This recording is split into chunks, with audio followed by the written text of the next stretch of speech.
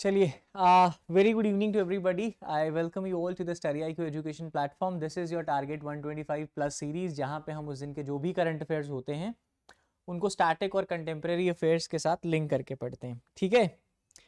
So good evening Mohammad Talib, Farheen Zainuddin Sachin, Saloni Priyata Pooja, Madhavi, Ahana, Ankur, Sahiba, Chandan. सबको good evening यार, सबको good evening so so, कैसे हो सब लोग? How you all it's been two days I know I really apologise for the same but मैं news cover हम कर लेंगे। आगे एक दो दिन में थोड़ी थोड़ी ऐड करके आज भी मैंने दो तीन ऐड करी हैं और दो तीन दो तीन करके will do it Bulbul very good evening Chandan good evening चलिए जी शुरुआत करें फिर आज की क्लास की। I guess people don't have वो I just share it in the वो ग्रुप हैंडआउट्स मिल गया सबको? Everyone got the handout for the class आज मैंने पहले ही अपलोड कर दिया था यार।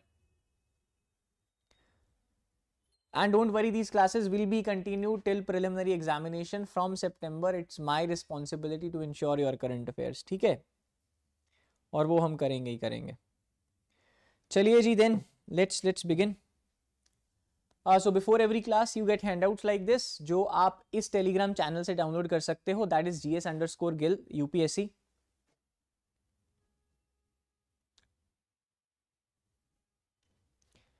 and if you people got any doubts so you can contact me on this instagram and telegram id the id name is gs underscore gill 07 ठीक है ये अपना playlist है you can subscribe for revision purpose this is sip offline uh, we have started uh, prelims batch in offline mode so for any details you can contact me here this is the link for demo videos right and please I was very serious मैंने set दैस कि भाई जो ये demo video है इसमें polity के conceptual topics हैं which I may not be able to cover here क्योंकि ये वाले आप देख लेना, जैसे आज federal democracy was in news Myanmar को लेके, है ना?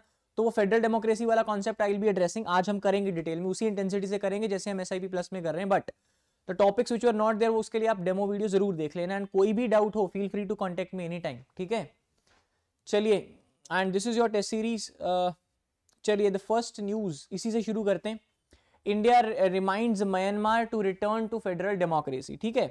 तो बेसिकली म्यांमार में भी कू हो गया था। We read it last time जब हमने ये डिस्कस करा था कि भाई एफएटीएफ की लिस्ट में म्यांमार को भी डाल दिया गया है है ना? If you guys remember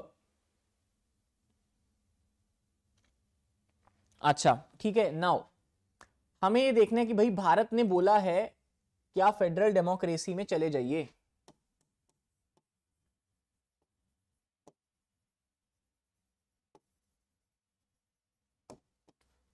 So there are two words एक शब्द है अपना फेडरल दूसरा शब्द है अपना डेमोक्रेसी है ना?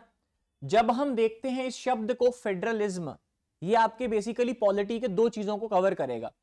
एक तो लक्ष्मीकांत, अगर आप पढ़ रहे हो तो उसमें chapter number first is historical background making of the constitution chapter number three is there that is salient features right chapter four is preamble then and then you have another topic called centre state relations तो वहाँ का ये topic है word federal अगर हम federal शब्द को समझे कि भाई भारत ने उसको क्यों बोला है बनने के लिए? सो so, फेडरल शब्द बना है एक लेटिन शब्द जिसका नाम है कॉन्ट्रैक्ट तो एक शब्द होता है फेडरस. फेडरस का मतलब है कॉन्ट्रैक्ट ठीक है? अभी अगर कॉन्ट्रैक्ट है तो वो किसी दो पार्टीज़ के बीच में होगा. जैसे पहले भी हमने जब बात करी है कि भाई अगर कोई फेडरल कंट्री है जैसे United States of America is a federal country our own country India is a federal country right तो इनमें क्या है? कॉन्ट्रैक्ट होता है. किसके बीच में? दो पार्टीज़ के बीच में।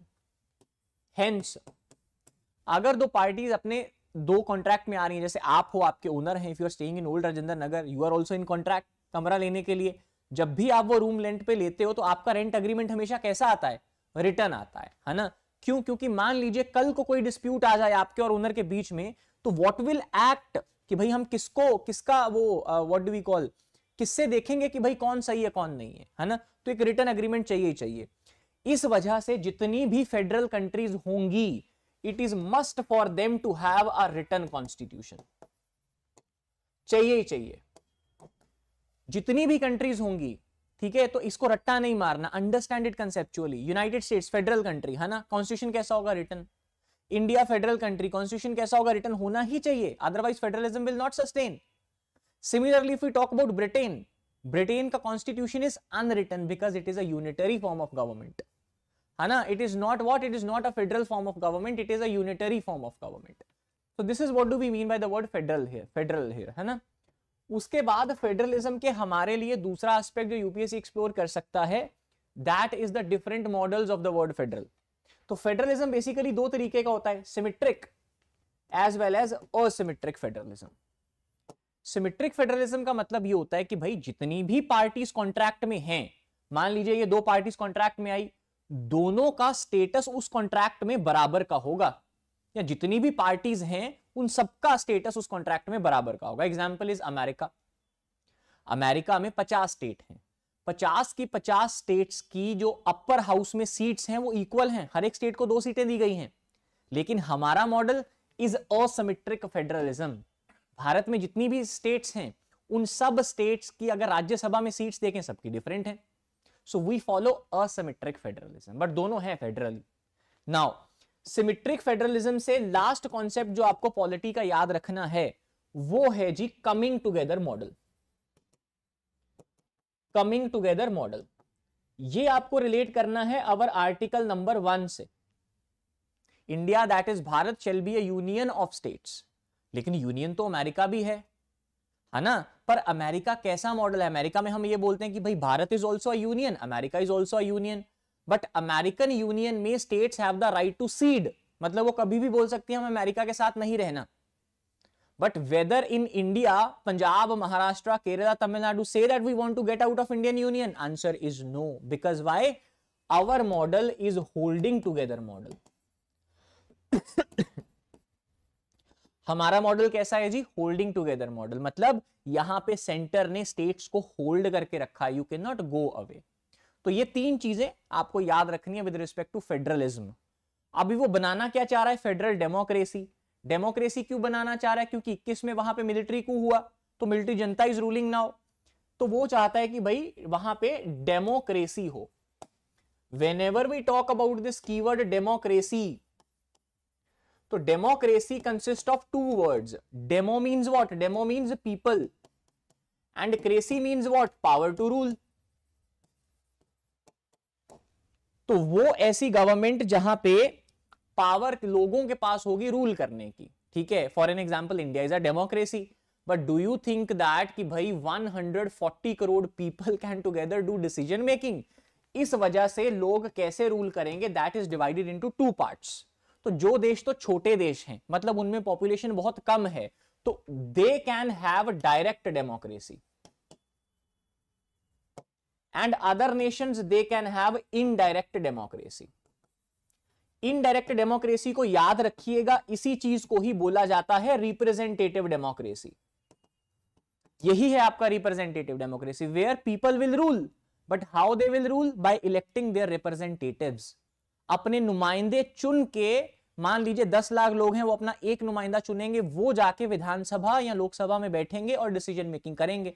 लेकिन in the end decision making कर कौन रहा है? लोग ही कर रहे हैं। वो लोगों के बिहाफ के ऊपर डिसीज़न मेकिंग कर रहे हैं right but in direct democracy people themselves do the legislative work तो कानून बनाने का काम, जो लॉ मेकिंग का काम, वो लोग खुद ही करते हैं। इसमें आप स्टैटिक में तीन चार चीज़ें पढ़ लीजिएगा।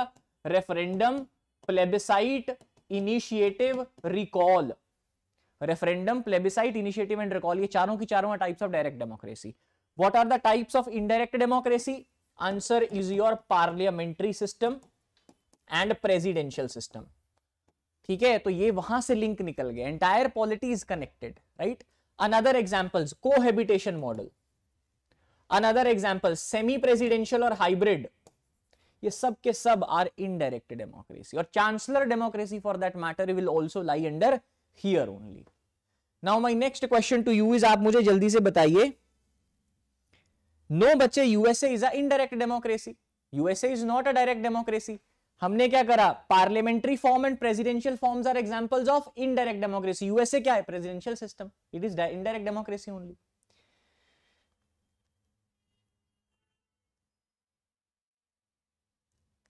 नहीं बच्चे हिंदी में भी है, कुछ नहीं समझ आएगा तो पूछ लीजिएगा, वो फ्लो फ्लो में आई सम टाइम स्टार्ट ठीक है? अरे मैं चलिए आप मुझे मैसेज करिएगा G S under score Gill zero seven पे we look out what are the problems right चलिए, अब मुझे बताओ एक क्वेश्चन अगर मैं आप लोगों से पूछूँ कि भाई भारत कौन सी डेमोक्रेसी है so what will you answer direct democracy और इनडायरेक्ट डेमोक्रेसी जल्दी से बताओ। India is which kind of democracy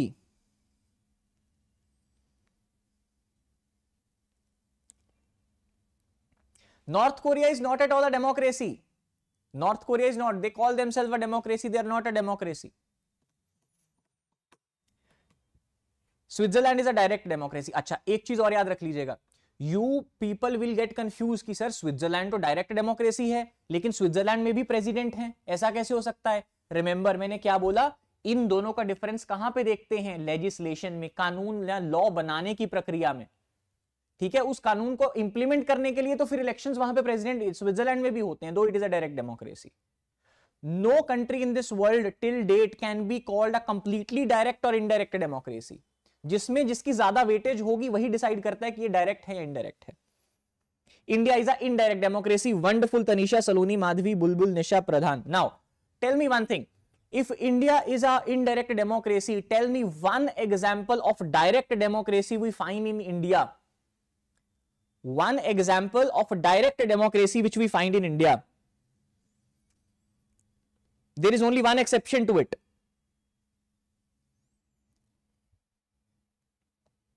India is a indirect democracy. India is indirect parliamentary system. हमारा है तो है parliament so India is the indirect democracy now tell me one example good evening Hemani tell me one example लिख लो इसे बहुत important है gram sabha is the only example of direct democracy in India one not panchayati raj जितने दिन पंचायती राज में फिर intermediate level की पंचायत भी चली जाएगी वहाँ नहीं मिलता हमें ओनली इन ग्राम सभा बच्चे only in gram sabha you you say municipality you say panchayat नहीं क्या म्यूनसिपैलिटी वाले जो लोग शहरों में रहते हैं, आपके मम्मा पापा को कभी भी म्यूनसिपैलिटी वाले बुला के लेके जाते हैं कि भाई आओ डिसीज़न मेकिंग करनी है। They never do it so municipality is never the correct answer for direct democracy only one gram sabha to be very precise panchayat भी नहीं ओनली ग्राम सभा ठीक है जी, इसको याद रखिएगा। बच्चे Athens practice direct democracy but can you call in what you can call perfect form of direct democracy no in Athens, do all people have the right to uh, uh, make decisions? No. Limited people had that. ठीक है? चलिए जी आगे बढ़ते हैं। Let's move ahead please note this example note this ठीक है? Only one example of direct democracy in India is your gram sabha चलिए तो ये था पहली न्यूज़ से कि भाई India reminds Myanmar to return to federal democracy I hope you are now able to understand the meaning what do mean by federal what do mean by democracy और क्या भारत म्यांमार से चाह रहा है?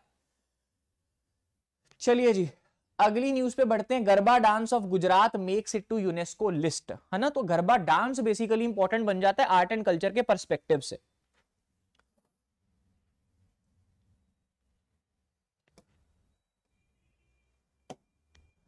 चलिए तो गरबा डांस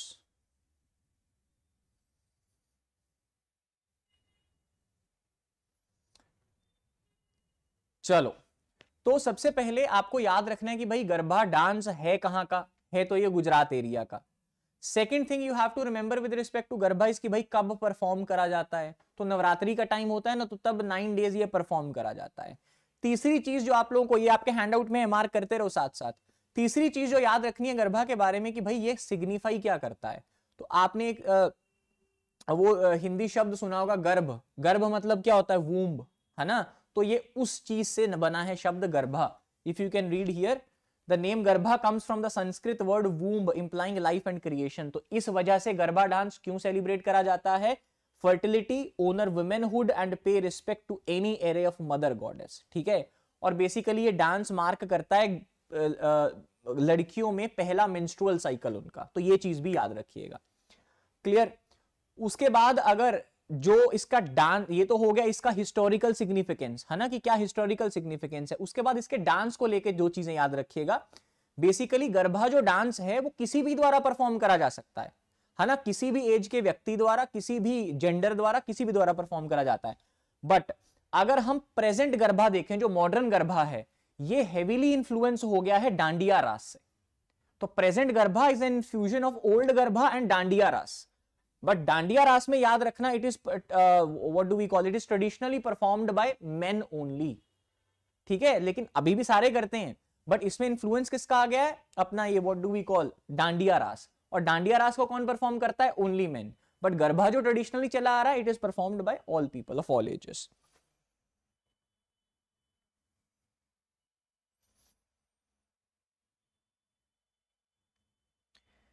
चलिए जी, आगे बढ़ते हैं। लेट्स मूव अगली न्यूज़ है।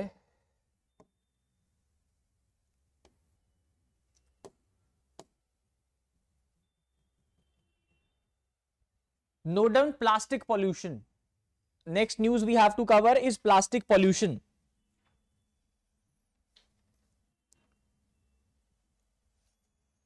any doubts यार up till here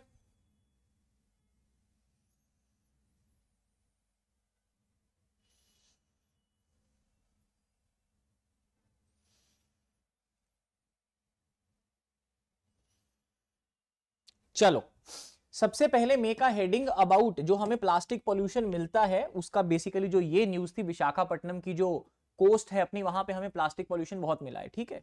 So you need to remember marine plastic pollution topic हमारा जो ब्रॉड इसमें से निकल के आता है that is your marine plastic pollution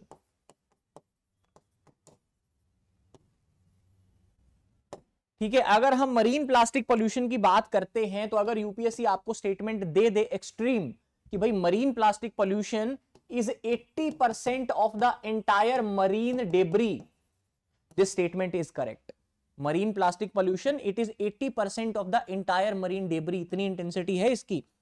उसके बाद आपको याद रखना है दो तरह के plastic micro plastic and nano plastic microplastic and nano plastic ये पाँच एम mm से छोटे होते हैं, ठीक है? ये दस एन mm से छोटे होते हैं। माइक्रोप्लास्टिक कितना होता है? पाँच मिलीमीटर, एंड ये, सॉरी, नॉट दस, हंड्रेड नैनोमीटर। ये दोनों, इनके जो यूनिट्स हैं, ये याद रखिएगा। ठीक है जी? चलिए, उसके बाद अगर इंटरनेशनल लेवल पे हम देखें कि भाई, मरीन पोल्यूशन तो ठीक है, बट क्या क्या एफर्ट्स इंटरनेशनल लेवल पे करे गए हैं मरीन पोल्यूशन को रोकने के लिए? देन सबसे पहला हमारे पास आती है London convention you should know about London convention ठीक है लंदन कन्वेंशन बेसिकली हम 1972 में लेके आए थे. बेसिकली कंट्रीज़ साथ में आई थी 1972 में. ठीक है कि भाई हम मरीन पोल्यूशन को बंद करेंगे. लेकिन जो चीज़ें फाइनलाइज हुई जो रूल्स बने, जो प्रोटोकॉल्स बने, वो बने जाके साल उन्नीस सौ छियानवे में कि भाई कैसे उसको इंप्लीमेंट करा जाएगा, ठीक है? तो बात शुरू हुई लंदन कन्वेंशन से 1972 में, लेकिन 1972 के तकरीबन 24 साल बाद finally we have a convention called as MARPOL या सॉरी हाँ मार्पोल कन्वेंशन लिख लो। We had a convention called as MARPOL convention ठीक है? तो after 24 years the things got finalised चलिए जी। उसके बाद अगर मार्पोल कन्वेंशन को डिटेल में देखें और प्रीवियस ईयर क्वेश्चन ऑल्सो पूछ चुका है यूपीएससी इसके बारे में।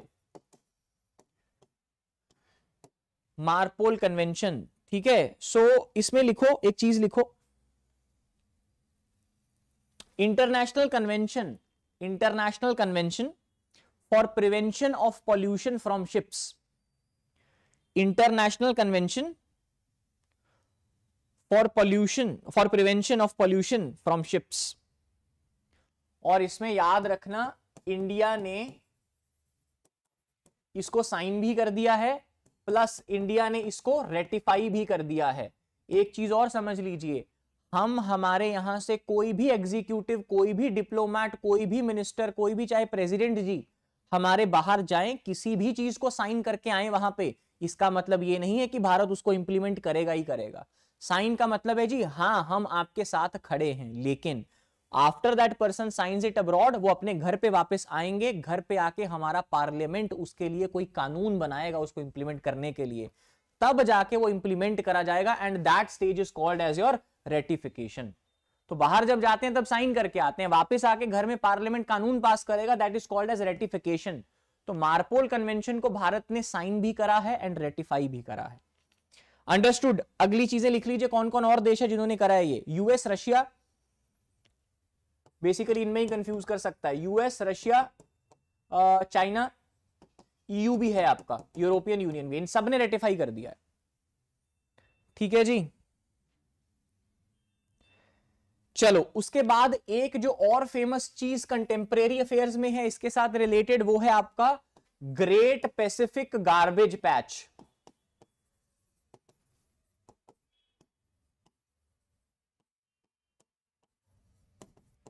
great Pacific garbage patch है ना? अगर आप ग्रेट पैसिफिक गार्बेज पैच की बात करो तो this is your Asian part है ना? ये आपका इंडोनेशिया वाला आइलैंड वगैरह आ गया this is your Australia on this side we have North America and everything and ये सारा आपका पैसिफिक ओशन बनता है। इस पैसिफिक ओशन को हमने पिछली क्लास में भी देखा था, जब हमने माचुआंग अर्थ वॉल्केनो देखी थी, है ना? नहीं सॉरी माचुआंग नहीं माउंट मरापी देखा था। Mount Merapi we have seen उसके हमने ये बोला था कि भाई this entire is called by the name of two things Pacific ring of fire या सरकम पैसिफिक बेल्ट है ना? तो ये सरकम पैसिफिक बेल्ट में क्या होता है कि भाई, कुछ ओशन करंट्स ऐसे आते हैं, वो क्या करते हैं वर्ल्ड का मेजर जो प्लास्टिक है ओशन करंट्स पैसिफिक में लाके उन्होंने यहाँ पे भर दिया है। एंड पैसिफिक के सेंटर में there is this great Pacific garbage patch तो वो वहाँ पे कूड़ा इकट्ठा हो गया प्लास्टिक का। Now majority of this plastic is micro plastic जो हमने ऊपर करा ना माइक्रो प्लास्टिक पाँच मिलीमीटर वाला और नैनो प्लास्टिक सौ नैनोमीटर वाला तो majority of this plastic is micro plastic इससे यूपीएससी कंफ्यूज क्या कर देगा कि भाई great Pacific garbage patch is visible from the space वो स्पेस से दिख रहा है। आंसर इज़ नो है वहाँ पे, पर माइक्रो है नहीं दिखेगा स्पेस से। ठीक है? It consist of micro plastic तो वो वहाँ से नहीं दिखेगा। It is not visible from the space चलिए। उसके बाद लास्ट 2019 का पीवाईक्यू भी यहाँ से देख लीजिए। यूपीएससी ने पूछ लिया था माइक्रो बीड्स क्या है? 2019 का प्रीवियस ईयर क्वेश्चन है। UPSC asked what are micro beads है ना? तो माइक्रो बीड्स क्या होते हैं जी? बेसिकली अगर आपने देखा हो, कई स्क्रब आते हैं, है ना? कई एप्रीकॉट स्क्रब होता है, कोई पीच स्क्रब होता है दिस एंड दैट तो उनमें क्या होता है बेसिकली जो अगर तो वो नेचुरल है तो वॉलनट को वो क्रश करके उसमें डाल देंगे और वॉलनट आपकी स्किन को क्या कर देगा एक्सफोलिएट कर देगा। बट अगर कोई वो दूसरा है इट इज़ नॉट नेचुरल तो उसमें ना आपको हल्के हल्के रेड कलर के ऐसे ऐसे डॉट्स दिखेंगे। है ना what are those are micro plastic only वो माइक्रो प्लास्टिक ही है जो आपको दिख रहा है। और वो प्लास्टिक डिग्रेड तो होगा नहीं। आप स्क्रब करके अपना मुँह धोगे एंड वॉश बेसिन के ज़रिए ड्रेन में जाएगा ड्रेन के ज़रिए नदियों में जाएगा, नदियों से ओशन में ही जाएगा finally so that is micro beads ये याद रखिएगा प्रीवियस ईयर क्वेश्चन है। हाँ माइक्रो प्लास्टिक बट नॉट चलिए इससे एक बात और भी याद रखेगा यू you नो know, जब अपना आ, ये बन रहा था ना what we call mission Mangalyaan हम ले रहे थे है ना? तो हमें ये था कि भाई मार्स के पास कोई चीज़ जाएगी वहाँ पे इतना टेम्परेचर दिस एंड दैट तो क्या करेंगे? तब हमने वन ऑफ़ द कंपोनेंट जो लगाया था मॉम में मिशन जो अक्षय कुमार ने मूवी भी बनाई थी तो उसमें उस कंपोनेंट में हमने जो प्लास्टिक लिया था वो हमने कहाँ से लिया था? समंदर से प्लास्टिक उठाया था। प्लास्टिक वेस्ट से प्लास्टिक लिया था। वाई बिकॉज़ वो कभी ठंडा पानी, कभी गर्म पानी this and that water currents ये सब झेल झेल के वो बहुत रिजिड और स्ट्रांग हो चुका था। है ना? It acclimatised to all the conditions all the rough and tough condition तो वहाँ पे वो प्लास्टिक यूज़ किया था। ये वैसा ये डिग्रेड नहीं होगा। वो अच्छी बात हमने स्पेस में यूज़ कर लिया। But this plastic is never going to degrade ये वहीं रहेगा। Understood this is the harm of this sir we for J K S S B current affairs. Okay चलिए जी, ये तो था अपना अगला news let's move for the next one ये भी हो गया। गरबा डांस भी हो गया। चलिए Google unveils Gemini AI technology trained to behave like humans ठीक है? तो बेसिकली इसमें से कुछ याद नहीं रखना है, इसमें just you have to remember the names artificial intelligence होता क्या है, ये हम पहले कर चुके हैं ना? वही न्यूरल नेटवर्क्स वाला। When the machine learns or gets so much data that it starts to think and act like your brain, जैसे ब्रेन्स का न्यूरल नेटवर्क चलता है। नाउ इसमें क्वेश्चन क्या आएगा? मतलब नाम नेम को मैच करना, है ना? कि भाई जैसे बार्ड किसका है है ना? जेमिनी किसका है? उसके बाद ये अपना व्हाट चैट जीपीटी किसका है? सो ऑल दीज थिंग्स इसका बस नेम इंटरलिंकेज याद रखिएगा और इसमें कुछ याद रखने वाली चीज़ है नहीं है। एंड एक चीज़ और you have to remember with respect to Gemini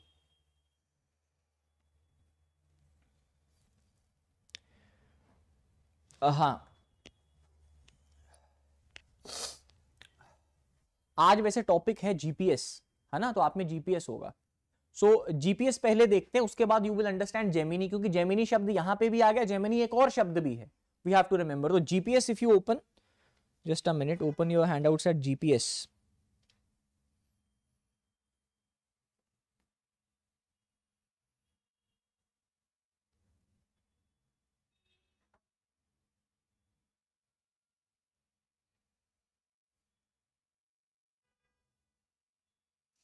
hmm चलिए नहीं फरीन, ऐसा तो कुछ नहीं है। चलो, समझो। So let's let's say this is the ये है आपकी एलईओ लोअर अर्थ ऑर्बिट ठीक है? कितने डिस्टेंस तक होती है? 2000 किलोमीटर तक। ये है आपकी अर्थ ठीक है? दिस इज़ योर अर्थ ये है आपकी एलईओ एलईओ के बाद आपकी जो ये सेकेंड लेयर है, ये है आपकी एमईओ एमईओ बेसिकली आपकी छत्तीस हज़ार किलोमीटर तक होती है लेकिन precise number is seven three five seven eight six kilometre याद रखना रख लो। इसके ऊपर आ जाता है आपका एच नाउ जितने भी देशों के कम्युनिकेशन वाले सिस्टम है हम किसकी बात कर रहे हैं? जैसे मान लीजिए आपने आ, एक प्लेस से दूसरी प्लेस पे जाना है। आजकल हम क्या बोलते हैं कॉमनली? भाई जीपीएस ऑन कर ले। उसकी बात कर रहे हैं उस जीपीएस की। आपके हैंडआउट में आज की न्यूज़ में था। Now what happens is GPS का फुल फॉर्म क्या है? GPS stands for global positioning system कि ग्लोबल लेवल के ऊपर पोजिशनिंग सिस्टम उसको बोला जाता है जीपीएस हर एक कंट्री का अपना अपना सिस्टम है. मतलब not all the countries have but there are various countries जिनका ऐसा सिस्टम है जो पोजिशनिंग बता सकता है. लेकिन सबका जीपीएस इज़ नॉट जीपीएस समझ रहे हो? फॉर एन एग्ज़ाम्पल होता क्या है वर्ल्ड लेवल के ऊपर? कि भाई, चलो, पहले मैं ऐसे समझाता हूँ। आप कंट्रीज़ का नाम नोट करो, ये भी आपका इस साल का क्वेश्चन है 2023 का क्वेश्चन है यूपीएससी का ये। नेम नोट करो USA Europe you note down the name Russia you note down the name China China के बाद इंडिया यहाँ पे करो नोट इंडिया एच में इंडिया और नोट करो Japan now global positioning system क्या करता है? लेट से कि भाई दिस इज़ द अर्थ का ऑर्बिट है ना? तो वो अपनी सैटेलाइट्स छोड़ देगा। याद रखना, एक बार अगर आपको एक बंदे की पोजीशन पता लगानी है तो एक वक्त के ऊपर तीन सैटेलाइट्स साइमल्टेनियसली काम करेंगे उस पर now how does it works मान लीजिए ये सैटेलाइट है, ये नीचे स्कैन कर रही है है ना? इसका एक पर्टिकुलर सर्कुलर एरिया होगा। लेट से ये सैटेलाइट कर रही है, ये उस सैटेलाइट का एरिया है। मैंने क्या बोला? तीन सैटेलाइट्स लगेंगी। दूसरी सैटेलाइट यहाँ से पॉइंट फेंकेगी। अपना उसका एंड तीसरी होगी यहाँ पे। हमें जिस बंदे को करना है रिकॉग्नाइज तीनों सैटेलाइट्स एक ही बंदे को देखेंगी, लेकिन जिस पॉइंट पे ये तीनों सैटेलाइट्स एक दूसरे को कट करेंगी इनका area this procedure is called as the procedure of triangulation और जहाँ पे ये तीनों कट करेंगी, वहाँ पे आपका बंदा लोकेटेड है। This is how GPS works now positioning system तो एक कंट्री का खुद का भी हो सकता है। Now let let me let me give an example USA का जीपीएस है है ना? बट यूएसए का जीपीएस का नाम जीपीएस नहीं है। जीपीएस तो साइंस की टेक्नोलॉजी है। यूएसए का जो जीपीएस सिस्टम है, उसका नाम नोट करो, उसका नाम है Navstar N A V S T A R तो फिर क्वेश्चन उठता है, जी नेवस्टार को जीपीएस क्यों बोला जाता है? क्योंकि नेवस्टार सारे ग्लोब की पोजिशनिंग दिखाता है। इस वजह से इसको जीपीएस बोला जाता है। ऐसा ही एक सिस्टम पोजीशन दिखाने वाला यूरोप का भी है, लेकिन वो पोजीशन सिर्फ़ कहाँ पे दिखाएगा? यूरोप में और उसका नाम क्या है? गलीलियो। ऐसा एक सिस्टम रशिया का भी है, वो सिर्फ़ रशिया की पोजीशन दिखाएगा, उसका नाम है ग्लोसनास। लेकिन ये दोनों जीपीएस नहीं है।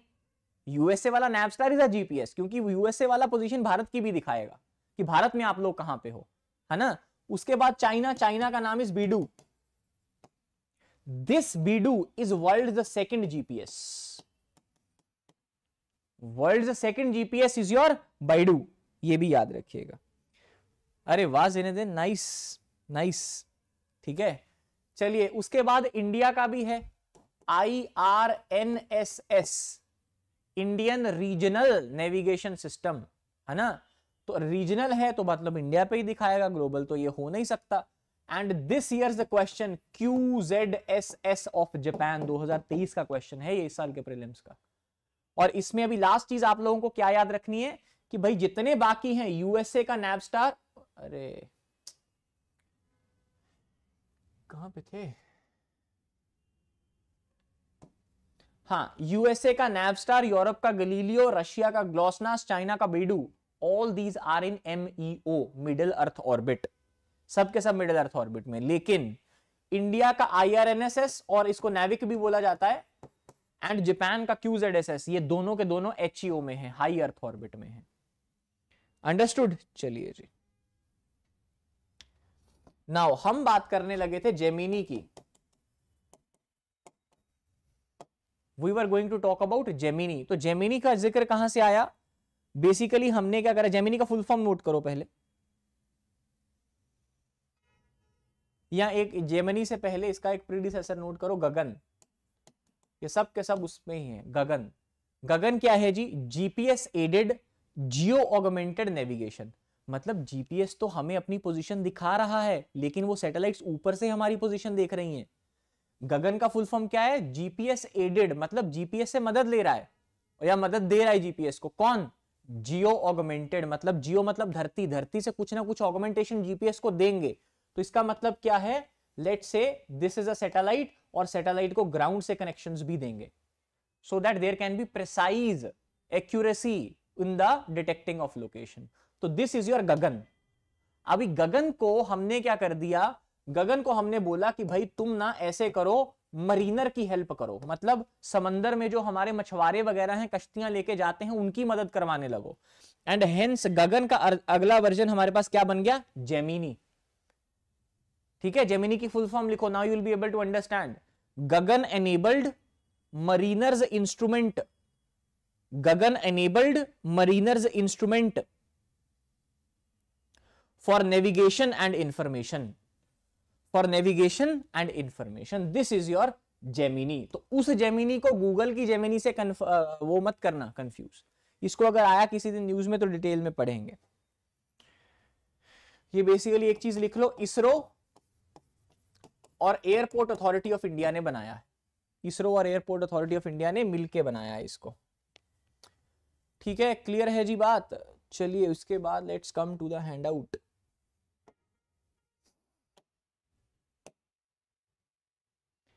Garba हो गया। चलो गूगल का ये भी हो गया। We have done this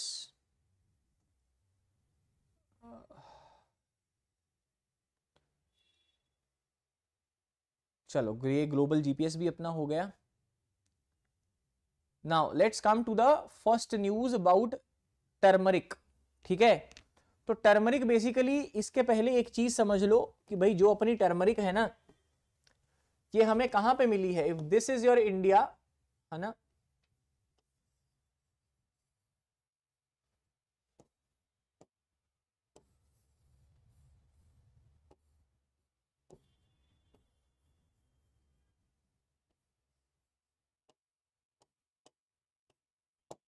let say this is India ठीक है? तो नाउ बेसिकली यहाँ पे हमारा प्लेट्यू रीजन है डेकन प्लेट्यू रीजन है। डेकन प्लेट्यू का एक extension here is your Meghalaya plateau बाकी सारे का सारा north east is part of Himalayan belt जहाँ की आज हम बात कर रहे हैं ना, जहाँ की चीज़ को ये मिला है जीआई टैग वो मेघालय प्लेट्यू में आती है। Meghalaya plateau consist of three hills Garo hills, Khasi hills and Jaintia hills. Meghalaya के पास आज से पहले तीन जीआई टैग थे। वो तीनों के तीनों गारो हिल्स के पास थे। पहला जीआई टैग है जो जंतिया हिल्स को मिला ठीक है? So it is the first GI tag which Jaintia hills have got now let's talk about it तो बेसिकली है क्या? लाकाडोंग टर्मरिक। टर्मरिक में बेसिकली देखो है सिंपल कॉन्सेप्ट ही। टर्मरिक आप घर में क्यों लेते हो? भाई, इसमें एंटी इंफ्लेमेटरी प्रॉपर्टीज़ होती हैं, है ना? किसी को कोई सूजन वगैरह हो गए, हो जाती है तो उसको बोलते हैं हल्दी वाला दूध पी लो। या हमें नॉर्थ इंडिया में कभी चोट भी लग जाती है तो हम क्या करते हैं मस्टर्ड ऑयल में हल्दी को थोड़ा सा गर्म करके उसको ऊपर लगा लेते हैं, है ना? तो एंटी इन्फ्लेमेटरी प्रॉपर्टीज़ होती हैं। तो वो क्यों होती हैं? बिकॉज़ टर्मरिक में एक साइंस मतलब प्योर अगर साइंस का क्वेश्चन पूछ ले तो एक कंटेंट होता है जिसका नाम है करक्यूमिन ठीक है? तो इसमें करक्यूमिन की वैल्यू बहुत ज़्यादा होती है। जिस वजह से इस वाली जो अपनी टर्मरिक है, इसको मेघालय की टर्मरिक लैकाडोंग टर्मरिक को जीआई टैग दिया गया है। क्लियर ये डार्कर इन कलर होती है ऑर्गेनिकली ग्रो करते हैं इसको दिस एंड दैट ये आप देख लेना।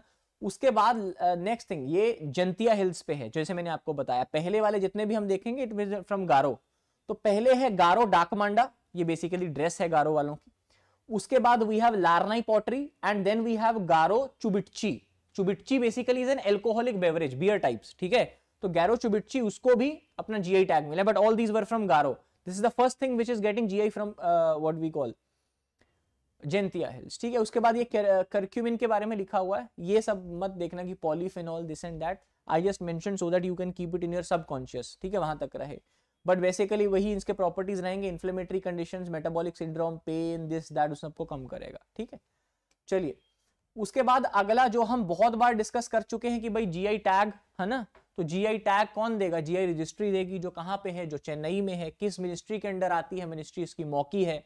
जीआई टैग किसी भी चीज़ को दिया क्यों जाता है? Because it has some special characteristics जो उसमें कहाँ से आया?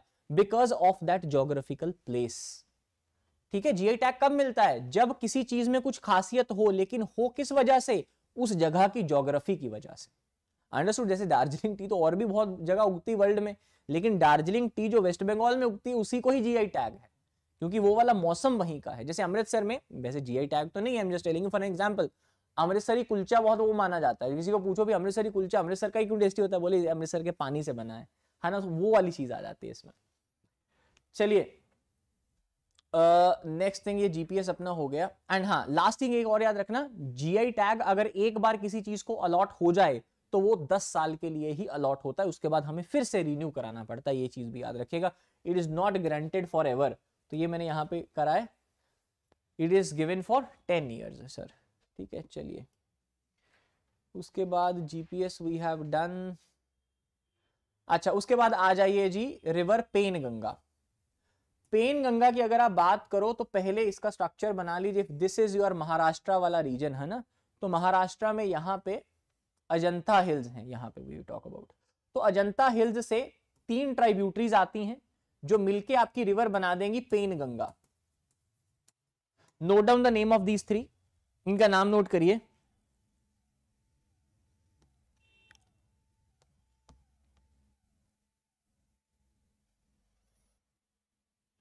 Adan A D A N Adan A D A N Adan K S Kas is your P U S Pus Adan Kas and Pus these are the three months ये इसकी tributaries है pen Ganga की. तो मिलके बना देंगे ये pen Ganga ठीक है?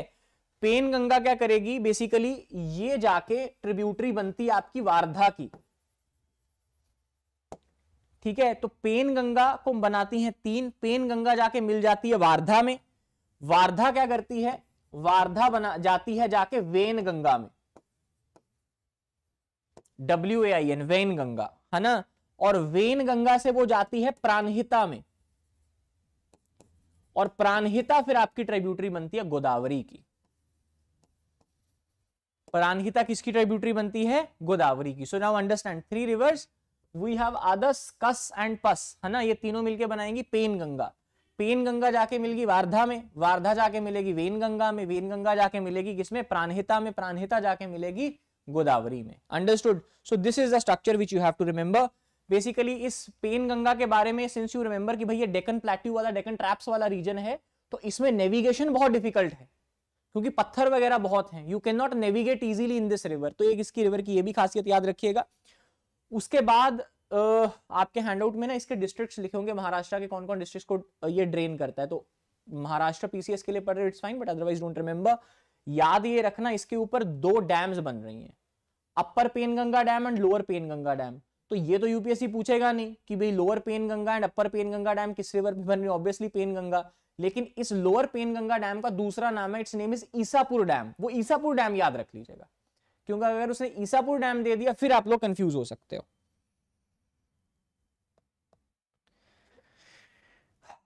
चलिए जी then last news of the day that is your double humped camel double humped camel double humped camel को बैक्टीरियन कैमल भी बोला जाता है। आपने मुझे ये बताना है कि भाई बैक्टीरियन पीपल ये हमने एंशियंट में भी पढ़े हैं, है ना?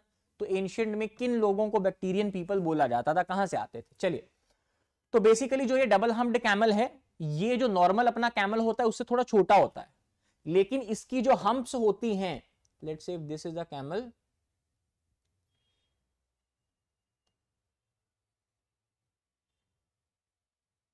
तो इसकी दो हम्स होंगी, ठीक है? चलो तो इट हैज़ टू हम्प्स ठीक है जी? नाउ ये प्रीवियस ईयर क्वेश्चन भी है, उसने पूछा था कि भाई नेचुरली ये इंडिया में मिलता है या नहीं मिलता? तो आंसर इसकी भाई, लद्दाख में हमें छोटा सा पार्ट है जहाँ पे डबल हम्ड कैमल मिलता है। इंडियन आर्मी ने पहली बार डबल हम्ड कैमल को इनकलकेट करा है ट्रांसपोर्टेशन एक्टिविटीज़ के लिए। तो that's why double humped camel was in news वैसे अगर यूपीएससी पूछ ले कि भाई ये बाशिंदा कहाँ का है ओरिजिनली कहाँ पे मिलता था तो it is native to central Asia ठीक है, मंगोलिया वाले रीजन में ये खास करके पाए जाते हैं। लाइफ स्पैन इसकी बात करें तो 50 साल तक की इसकी उम्र है। लाइफ स्पैन हम क्यों कर रहे हैं? एलिफेंट के बारे में पूछ लिया था। तो लाइफ स्पैन 50 साल तक की उम्र है। यूजुअली ये ग्रुप में रहना पसंद करता है बट सॉलिटरी भी रह लेते हैं। छह से बीस मेंबर का इनका ग्रुप होता है।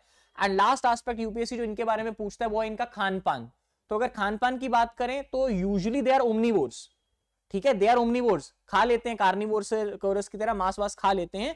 But when we talk about primarily ये क्या है तो primarily they are herbivores only मतलब खाना पीना पसंद क्या करते हैं? घास फूस ही. बट इन द वो ये ऐसा नहीं है कि भाई घास फूस ही खाते हैं, मांस भी खा लेते देर कार्निवोर ओमनीवोर्स सो बचे double humped camel double humped camel जैसे ऊँट की एक हम्प होती है ना तो इसमें डबल हम्प होती है।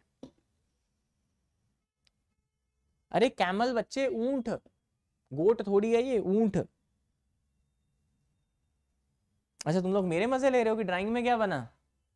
अरे यार, ये। हाँ क्यों? कौन सा लिखा है? टूटेनोस। टूटेनोसॉर। हाँ टूटेनोसॉर। ठीक है। नहीं, ये Bulbasaur. Have you seen Pokemon Bulbasaur. चलिए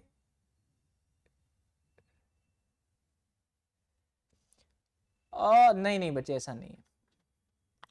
First time in Indian mission you can say हाँ Yavatmal and second district we have is Yavatmal के साथ वाशीम। हम्म, ठीक है। चलो और बताओ बाकी सब बढ़िया? तैयारी अच्छी चल रही है तुम लोगों की? प्रिपरेशन गोइंग गुड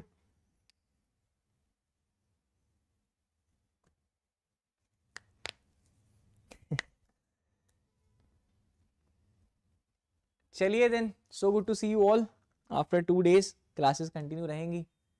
ठीक है don't worry I am here only चलो गुड लक यार see you guys good night all the best